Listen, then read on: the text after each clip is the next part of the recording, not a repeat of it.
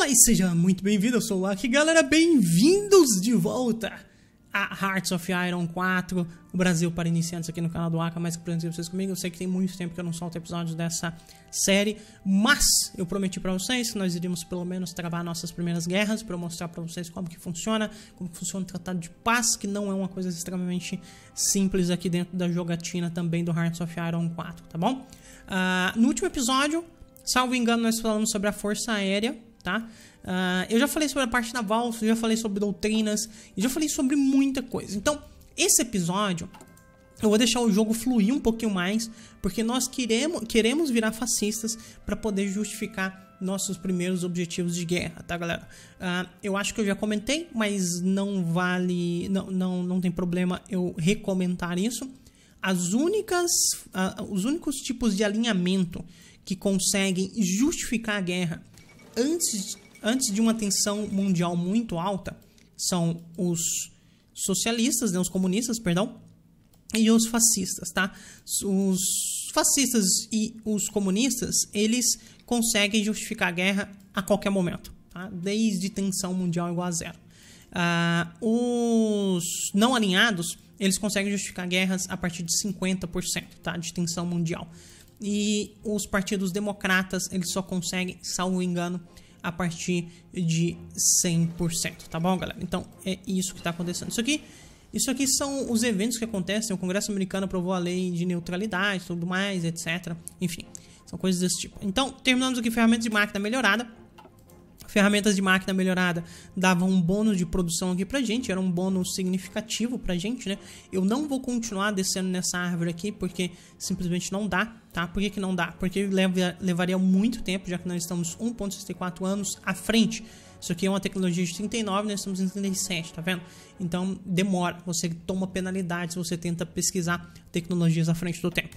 Então vamos aqui na engenharia, só para lembrar de uma coisa. Isso aqui talvez valha a pena, tá? De 38. Uh, ah, deixa eu só me lembrar se eu estou pesquisando minhas doutrinas, que são extremamente importantes. As doutrinas eu não estou pesquisando. Talvez a gente vá de doutrinas então, galera. Então, beleza. Decidido. Nós vamos de doutrinas. É o seguinte, galera. Olha só. Eu não sei se eu já comentei? Mas uma das coisas mais fortes, principalmente no início do jogo, são as doutrinas. Por quê? Por quê? Doutrinas é um tipo de bônus que você consegue nas suas unidades uh, terrestres, no caso, porque eu estou pesquisando doutrinas terrestres, sem que você tenha que gastar fábricas, gastar recursos para ter esse bônus. Porque, por exemplo, olha só, na, no meu outro slot de pesquisa, nesse slot aqui, ó, eu estou pesquisando novas armas, tá vendo? São essas armas aqui. O que, que acontece? Essa arma aqui, por exemplo, ela gasta dois aços para que eu produza ela e ela tem um custo de produção de 0.43, tá? Custo de produção. O que, que é o custo de produção? é, é, é como se estivesse vinculado ao tempo que levaria para produzir uma unidade uh, deste tipo de equipamento, tá bom? Essa unidade aqui ela também gasta 2, só que o custo de produção dela aumentou para 0.50. E conforme eu vou evoluindo aqui, subindo nessa árvore, quando eu chego no último aqui, ele gasta 4, tá vendo? O próximo, salvo engano, já gasta 3. Então, galera, o que, que eu quero que vocês pensem, tenham em mente isso. Ok? Eu estou melhorando meus rifles, meus rifles vão ficar mais poderosos. Beleza. Só que os rifles não é um bônus automático que você tem. Você tem que produzir esses rifles novos. Por enquanto, no Brasil, nós só produzimos equipamento básico. Esse equipamento aqui, nós não ainda produzimos. Nós simplesmente estamos licenciando ele, vamos pensar assim. Estamos conseguindo é, entender o funcionamento dele para que a gente comece a produção. E só depois que a gente produza e que esse equipamento chegue nas mãos dos nossos guerreiros de alguma forma, que daí esse bônus de defesa aqui, ó, defesa aqui é 20, então ele ganha 2 de defesa, tá vendo? Que esse 2 a mais de defesa aqui vai chegar para as nossas unidades. Vocês entendem isso? Eu tenho que produzir o negócio primeiro, eu tenho que investir em fábricas, eu tenho que ter equipamento para que minhas unidades tenham esse bônus. Pode ser que eu consiga produzir isso aqui, mas eu não esteja produzindo rápido o suficiente. Uh, então minhas unidades ainda não têm esses rifles na mão, então mesmo assim, mesmo que eu já consiga, mesmo que eu já esteja produzindo e tudo mais, eu ainda não tenho esse bônus, tá? Então, por que que Doutrinas é tão forte? Doutrinas, galera, basicamente é o seguinte. Uma vez que eu termine de pesquisar minha doutrina, esses 10 a mais de organização aqui, por exemplo, nas minhas infantarias, eles são aplicados automaticamente. Então, automaticamente, todas as minhas infantarias, elas ganham mais 10 de organização, certo? E eu não tive que gastar nada, eu não tive que colocar nada né, para produzir, eu não tive que gastar nenhum recurso, eu não tive que gastar tempo produzindo isso, não tive que esperar essas coisas chegarem na, nas minhas unidades. Então, galera, Uh, eu, é, é interessante pensar sobre isso porque isso acontece em diversos jogos de estratégia e às vezes as pessoas não entendem, tá? E aqui no Hearts of Iron 4 acontece bastante. Isso aqui é um bônus que a partir do momento que você clica e pesquisa ele, pronto, ele já está ativo, tá? Então por isso que Doutrinas é muito forte no início do jogo, porque basicamente você não tem que pagar por nada, nada mais para tê-las, certo? Beleza. Acho que eu fiz meu ponto ali, né? Deixa o tempo passar aqui mais um pouquinho, então. Estamos quase com 40. Eu preciso de pelo menos 45 de fascismo aqui, por enquanto eu tenho 41 só. É uma pena. Já era pra gente ter, estar um pouquinho mais adiante. Deixa eu lembrar o que, é que nós estamos produzindo, galera, que eu confesso que eu não me lembro. Uh, aqui. Nós estamos produzindo um pouquinho de equipamento de suporte, um pouquinho de artilharia guinchada, ok? Eu gosto dessa, dessa, dessa estratégia, dessa, dessa trama aqui. Deixa eu me lembrar de uma coisa também. O Japão já está em guerra. Não, o Japão ainda não declarou a guerra dele. Uh, a única coisa, a única guerra que está acontecendo é essa guerra civil aqui pela Espanha, né? Uh, a Espanha é quebrada aqui em três lugares, dependendo ela quebra até em quatro lugares, começa uma guerra civil gigantesca ali, tá bom? Geralmente, geralmente a a Espanha fascista aqui, tá? Ela ganha, tá, galera? Geralmente essa Espanha nacionalista, ela ganha aquela guerra ali. Pode acontecer de outras ganharem? Podem. Eu posso interferir naquela guerra? Ótima pergunta, tá? Ótima pergunta que eu me fiz. Yay! Uh, galera, olha só. Existe uma forma, cadê? Hum, uh, where is the... Where, aqui, ó. Existe uma forma de você pegar algumas unidades da sua nação e enviar essas unidades em outras guerras, tá? Waka, por que, que eu faria isso? Primeiro ponto, talvez você queira intervir naquela guerra de alguma forma, tá? Tentar ajudar mesmo aquela guerra a ser ganhada, pode ser do seu objetivo. Ou talvez você simplesmente queira ganhar experiência de combate, experiência uh, de exército. Isso também pode ser um belo motivo para você fazer isso. Ou ainda você queira simplesmente evoluir suas unidades. Porque lembra que eu falei que existem diversos níveis de evolução, mas que no treinamento aqui de chão você só consegue esse nível regular aqui, né, que é o nível de experiência 3. Lembra que eu falei isso? Pois é, se você levar, se você levar essas unidades para guerra, de fato, você consegue evoluções acima desse ponto. Então, isso pode ser bem interessante, pode fazer parte da sua estratégia. Contudo, contudo, né? Sempre tem um contudo. Não é qualquer nação que consegue enviar voluntários. Primeiro, a quantidade de voluntários que você consegue enviar tem a ver com a quantidade de manpower que você tem em campo. Então, olha só, se eu coloco o mouse aqui em cima do meu manpower, eu coloco ali, ó, mão de obra livre, mão de obra usada, exército no campo, tá vendo? Então, no campo eu tenho 107k de exército, de mão de obra de, de exército, basicamente, e em treinamento eu tenho 99. Então, tem a ver com essa proporção aqui para saber o quantos exércitos eu consigo enviar voluntários. Além disso, existem algumas outras coisas. Olha só, quando eu coloco o mouse aqui já fica escrito, ó. Seu país não tem permissão para enviar forças expedicionárias. Precisamos que a tensão mundial esteja em 40%. Atualmente está em 5%. Por quê? Porque meu país é não alinhado. As nações que conseguem enviar exércitos imediatamente são nações comunistas, são nações fascistas. Depois me perguntam por que, que comunismo e fascismo é quase que obrigatório dentro de Hearts of Iron 4. Porque basicamente as coisas só funcionam com eles. É simples assim, tá? Uh, e além disso, eu preciso de pelo menos 30 divisões para poder enviar forças voluntárias, porque eu sou não alinhado, tá, galera? Então tem tudo isso aí. Então, se eu fosse fascista, eu conseguiria enviar e aquela proporção lá de ter que ter 30 ou coisa do tipo seria bem menor. Ok, eu acho que eu já tenho pontos de poder político o suficiente. Eu vou começar a pesquisar de novo meus focos. Eu vou descer nesses focos aqui, galera, porque um dos focos da árvore genérica que eu acho mais importante você pegar right away é esse foco aqui, ó, que habilita um espaço de pesquisa a mais, tá, galera? Então, vou começar a descer aqui. Eu, eu sinceramente acho que eu já tenho pontos de poder político mais que o suficiente para fazer tudo que eu preciso. Uh, ok? O que, que eu vou fazer aqui, galera? Olha só. A gente está começando o processo de transformar em fascista aqui. Eu vou abrir o discurso político. Por quê? Abrindo o discurso político, toda vez. Eu já deveria ter clicado nisso, na verdade. Eu acabei me esquecendo, tá? Acabei me esquecendo durante a série que você pode clicar naquilo ali a partir do momento que está habilitado para você. Uh, a partir do momento que você abre o discurso político, pode acontecer eventos que tornam a sua nação mais fascista. Tá? Geralmente esses eventos vêm acompanhados de uma quedinha de estabilidade. De fato é, mas nem sempre. Tá? Às vezes acontece o evento e você não tem que perder estabilidade por isso. Beleza? Equipamento de infantaria básico, né? Tranquilo. Eu vou eu vou pesquisar isso aqui mesmo que à frente do tempo, vou gastar 164 dias. Isso aqui, esse bônus aqui, ele já faz sentido, galera. Por quê? Esse bônus aqui, ele dá 5% a mais na minha infantaria leve, tá? Right away, tá? Deixa eu olhar uma outra coisa aqui. Tá, eu já tenho artilharias, beleza. Então vamos fazer isso. Perfeito. Uh, e o que que acontece, galera? As minhas armas, agora, elas estão defasadas, tá vendo? O modelo de equipamento básico que eu estou produzindo, tá? Ele é um modelo que que tá defasado. Essa é a verdade. Então, eu tenho que adicionar esse cara aqui agora, equipamento de infantaria, que ele é o mais novo que eu posso fazer. Existem duas maneiras, e aqui vem um pulo do gato também. Eu poderia simplesmente clicar aqui e substituir essa produção pela produção do equipamento novo. Qual é o problema disso? As minhas fábricas que já estão há muito tempo trabalhando nesse equipamento, elas já estão acostumadas a produzir esse equipamento. Então, por isso, a eficiência de produção dessas fábricas já está em 56%. Tá?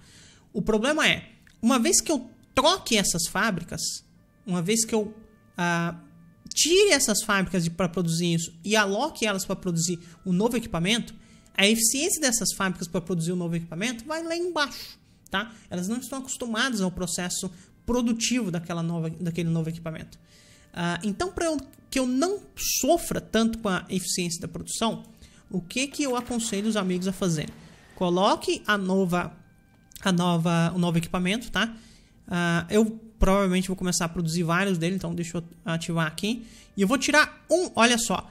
Se eu perder uma fábrica aqui, isso aqui vai para 16. Então a, a diferença ali, se você pensar, né, de 24 para 16 é de mais ou menos 8 unidades, certo? Mas eu não vou começar right away produzindo 8 unidades desse equipamento novo aqui, olha só. 2, porque a eficiência aqui está em 20% ainda, tá? A eficiência aqui era 60%. Então isso faz um eno uma enorme diferença na quantidade de equipamento que você, que você produz, tá? Então o que, que eu vou fazer? Eu vou começar a ir alocando isso aqui devagar. Por quê? Porque justamente eu tenho um déficit enorme em equipamento de infantaria, tá? Eu não quero aumentar esse déficit. Então, basicamente o que eu vou fazer é isso, tá, galera? Fábricas novas que surgirem para mim e forem alocadas lá, não, não não tem problema ser alocados para um novo tipo de equipamento, basicamente porque ela já seria uma fábrica nova, então mesmo que ela fosse produzir esse equipamento que nós estamos acostumados, tá? equipamento básico, uh, ela ainda teria eficiência baixa. Então, ok, eu simplesmente uma fábrica nova vou alocar aqui. Então, qual que é a sacada, galera? No geral, tá? Você não quer ficar uh, mudando, ficar alternando fábricas de lugar. No geral, você não quer, tá? Não no início do jogo, pelo menos. Ok, o Japão declarou guerra. Por que eu tava esperando esse momento aqui, galera?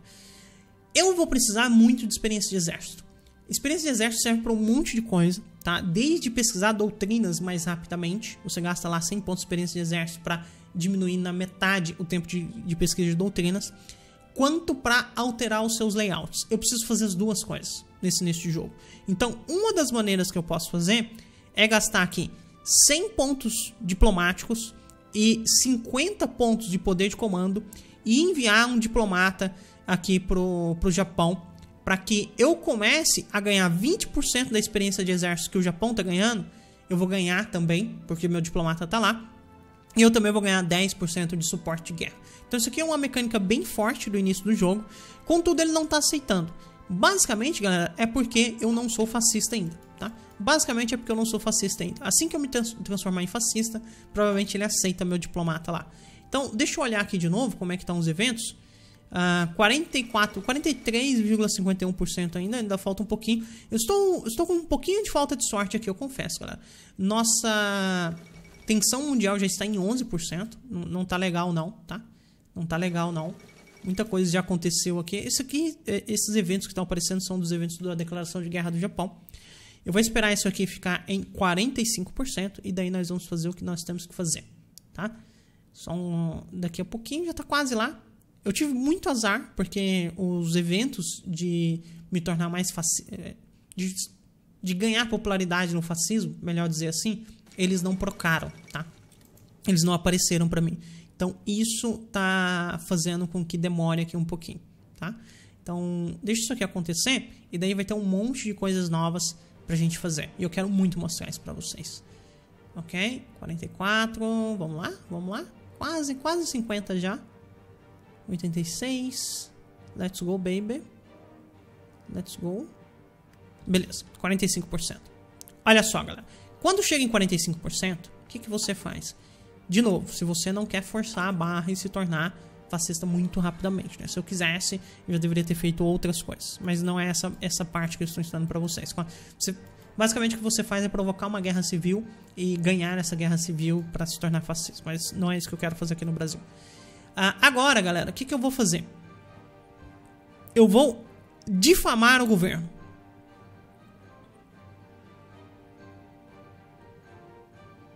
Na verdade. Ok, galera, perdão. Olha só que, que eu vou fazer? Eu vou difamar o governo. O que, que é, difamar o governo faz? Tá? Basicamente, ele diminui a popularidade das outras das outras facções no geral, tá? Dos outros partidos, inclusive do nosso, tá? Inclusive do nosso. Só que a sacada é que, como não existem outros partidos, ali está escrito a mudança da popularidade não alinhada, é menos 10%. Esse menos 10% ele vai ser distribuindo para as outras nações. Olha só. Vou clicar aqui. Pronto. Olha só para quanto que nós fomos. 55%. Maca, funcionaria se você tivesse um 40%? Confesso que eu me lembre, acho que não, tá? Você não vai para mais 50% automático. Beleza. Então, fiz isso e agora, tá? E agora eu vou realizar aqui o referendo nacional. O que, que é isso? Vou gastar mais pontos de poder político aqui para me transformar em fascista. Infelizmente eu perco estabilidade, mas é a vida. Então agora nós somos o Brasil integralista. Quem controla é o Plínio Salgado. Os bônus deles. É, não, não, não, é lá essas coisas. Isso aqui são os bônus de espírito nacional, na verdade. Não é bônus dele exatamente. Uh, e é isso. Somos fascistas agora. Então agora nós. Um monte de coisa pode acontecer. A gente pode fazer um monte de coisa. Mas a primeira coisa que eu quero ensinar para vocês é como justificar guerras e declarar guerra em dois países, pelo menos, para que os aliados não se interfiram. Esse é o principal objetivo desse vídeo, tá? Então, como que você faz? A primeira coisa que você vai fazer é olhar se seus targets, eles não têm uma penalidade que alguns, algumas nações têm para você justificar a guerra neles, tá? No caso aqui, meus dois targets são Paraguai e Uruguai. Então, deixa eu olhar o Uruguai. Eu clico aqui com o botão direito, vou em justificativo, vou em conquistar, vou no Uruguai. Coloco o mouse aqui em cima. Uh, repara que eu só tenho um bônus, um bônus ali, tá? Menos 5,5%, tá? De tempo para justificar a guerra nele. Então, eu sei que o Uruguai não tem. Perfeito. Agora vamos no Paraguai. Talvez o Paraguai tenha, tá? Talvez o Paraguai tenha. Vamos colocar o mouse aqui, também não tem. Então, perfeito. Quando nenhuma das nações tem, tá? Existe um modus operandi que você vai seguir, que é o que eu vou mostrar.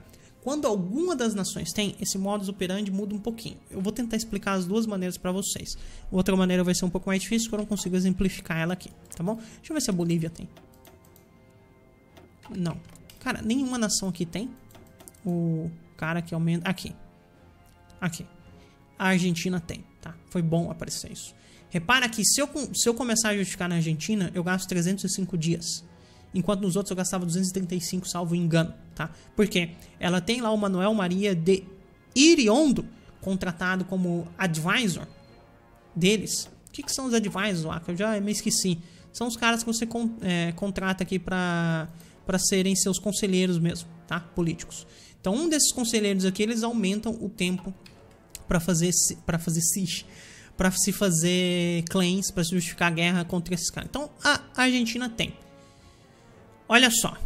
Como que eu faria, tá? Caso eu encontrasse essa situação aqui. Você iria fazer o seguinte. É simples. Quando você encontra essa situação aqui, é bem simples. Primeiro, você justifica a guerra na nação que tem o, o advisor, que aumenta esse tempo aqui de para justificar a guerra. E depois você justifica na outra nação que não tem, tá? Simples assim, você inclusive economiza pontos de, é, pontos de poder político para fazer isso, tá? Mas não é meu caso. Eu quero Uruguai e Paraguai, né? Lembrando. Então o que, que eu vou fazer? A primeira, olha só, galera, olha que sacada. Eu vou justificar aqui no Paraguai. Vamos conquistar o Paraguai. Eu, no caso, a América do Sul, ela é um, ela é um pouquinho diferente, porque todas as justificativas que você faz na América do Sul, a tensão mundial, ela mexe só um pouquinho. Ela não mexe muito. Agora, em alguns outros lugares que você tá, pode ser que essa tensão mundial suba um pouquinho mais, principalmente na Europa, tá? Uh, não é o caso aqui, então vamos lá. Eu vou justificar primeiro no Paraguai, tá? Perfeito. Agora, olha só. Se eu tentar justificar aqui no Uruguai, eu deveria ter mostrado quantos pontos de poder político a gente tinha gastado. Agora já foi. Se eu tentar justificar aqui no Uruguai agora, repara que isso aqui subiu para 345 dias, tá? 345 dias.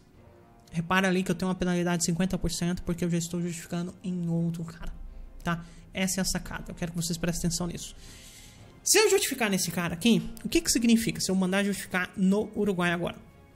Significa que em 235 dias minha justificativa no Paraguai está pronta.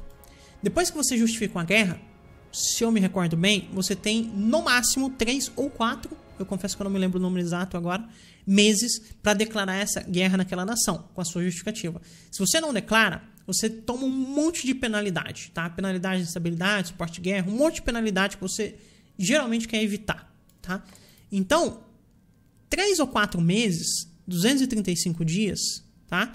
Não é o suficiente para pegar uh, aqueles 200, 345 dias aqui, tá? Se não me engano, são três meses só, galera, tá? São três meses só.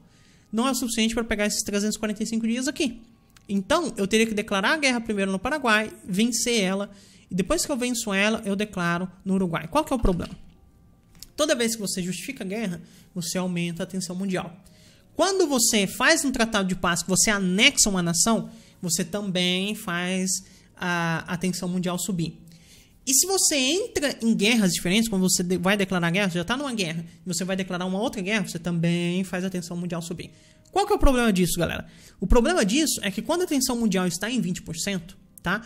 Todos os países democratas, principalmente os aliados, os aliados vão fazer isso, eles têm uh, o direito de interferir nas guerras, uh, garantindo as outras nações, tá? As nações alvo.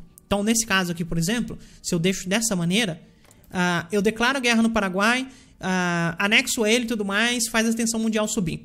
Pode ser que depois, quando eu for declarar guerra no Uruguai, o Uruguai esteja sendo garantido, tá? Pelos, pelos aliados. De novo, tá? Na América, na América em geral, é um pouquinho diferente, porque todas as nações aqui, por conta de eventos históricos e tudo mais, já são garantidas pelos Estados Unidos. Então, nem sempre, na verdade é bem raro os aliados colocarem o dedo uh, em proteger esses caras, tá? A não ser que a tensão mundial realmente esteja muito alta. Contudo, em qualquer outra parte do mundo, isso acontece, tá? Então você vai ter que seguir esse, essa coisa aqui que eu estou passando para vocês. Justifiquei no, primeiro no Paraguai, 235 dias. Agora eu vou justificar no Uruguai, tá? E com a penalidade de 50%. Aqui eu vou gastar 345 dias. Então qual que é a sacada, galera? Na verdade, eu vou vir aqui no Paraguai, vou cancelar a justificativa e vou justificar de novo. Assim, isso aqui também termina em 345 dias. Certo? Então o que que acontece? Agora, por mais que eu tenha subido a tensão mundial para essa altura aqui, mas quando eu for declarar guerra, eu declaro guerra nos dois em seguida, tá? Então, nenhum vai estar tá sendo justificado então, diminui a chance dos aliados intervirem na guerra. Tá bom? Sigam essa receita de bolo, tá? Sigam essa receita de bolo que vai funcionar. Eu prometo que vai funcionar. Deixa eu colocar esses caras aqui. Eu vou.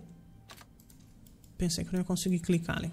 Deixa eu tirar essa esse plano de batalha aqui e esse plano aqui eu vou modificar ele para cobrir toda essa parte aqui. Perfeito, ok.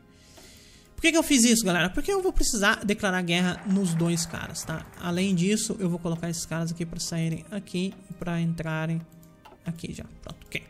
É isso, perfeito. Nosso foco terminou.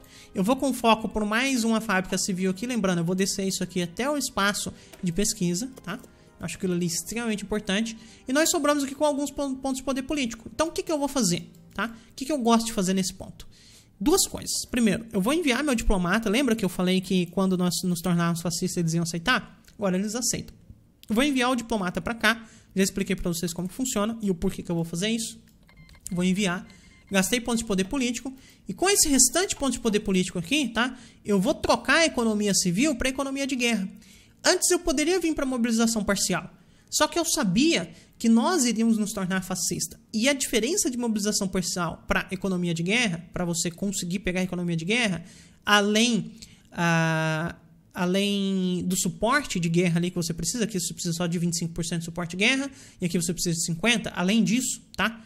Basicamente é que você tem que ser fascista ou, ou, comunista, tá? E o bônus que economia de guerra te dá é bem melhor do que o de mobilização parcial. Então, para isso, nós vamos com economia de guerra aqui. Tá? Isso vai me permitir usar mais as minhas fábricas para produzir mais coisas para mim. Isso é interessantíssimo. Diminui fábricas de bem de consumo, aumenta a velocidade de produção, coisas desse tipo. Galera, outra coisa, tá? Uh, agora eu vou tirar mais uma fábrica daqui e alocar ela nesse no, nos novos tipos de equipamento aqui, tá bom? Galera, é o seguinte, tá? Eu vou encerrar esse episódio por aqui, ele ficou um pouquinho longo. Eu falei de um monte de aspectos meio perdidos. O principal que eu queria mostrar para vocês é como nos tornar fascistas, tá? E principalmente como justificar guerras da maneira correta para que os aliados não interfiram nas suas duas primeiras guerras, com certeza, tá? Então, nas suas duas primeiras guerras, eles não vão interferir. Depois, pode ser que eles interfiram, e daí tem outras coisas que você pode usar para que eles não interfiram, tá bom? Meu nome é Waka, espero que vocês tenham gostado, espero que vocês tenham entendido. Se sobrou qualquer dúvida, deixa aqui nos comentários, vai ser um prazer responder vocês. Aquele abração e até mais. Tchau, tchau.